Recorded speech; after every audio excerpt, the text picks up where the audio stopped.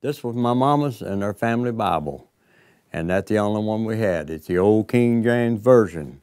And she'd carry this Bible to church with us little ones following behind her down there in the mountains, walking up and down those mountains to about a mile to church.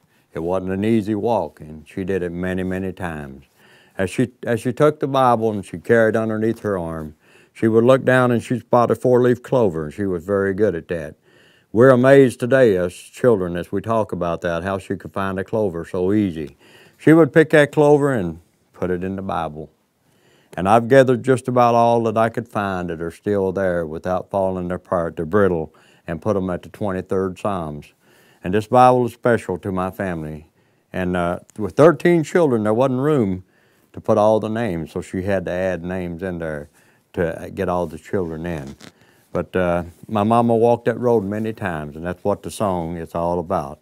Clover between the pages is about this Bible and my mama.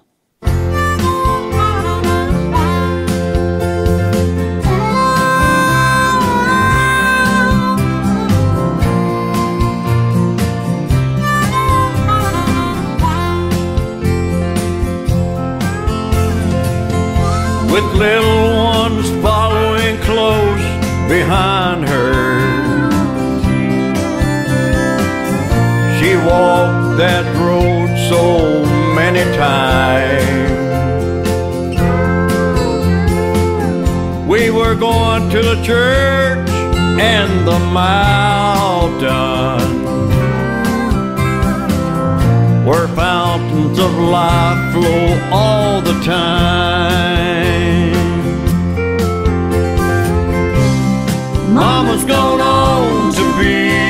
Jesus. That Bible she left far behind with pages old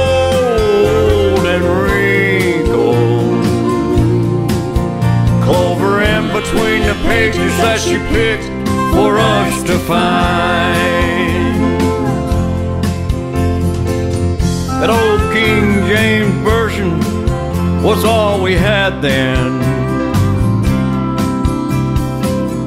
It told us all about his precious son. and how he saved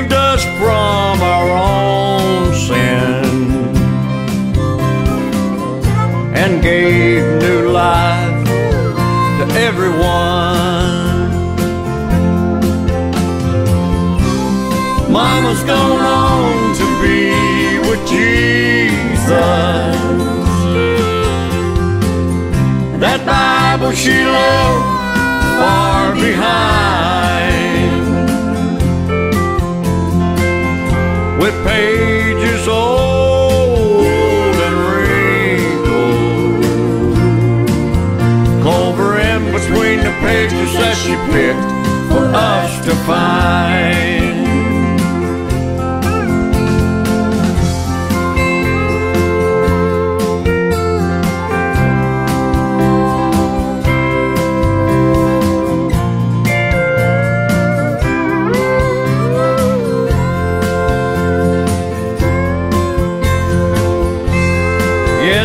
pages, they are faded With marks and notes that her hand put there. With four-leaf clovers placed through the ages. No other book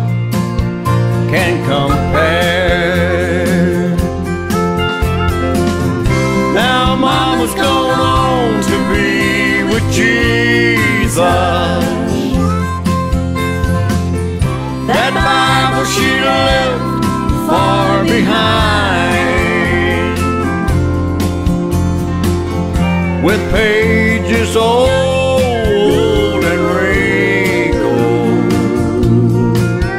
Clover in between the pages that she picked for us to find. Mama's gone on to be with Jesus. That Bible she left far behind